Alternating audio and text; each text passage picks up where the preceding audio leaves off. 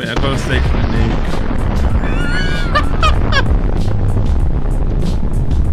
the fact that I even timed that.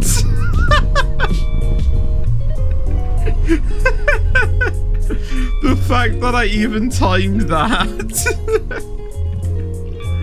oh my gosh, that timing was incredible.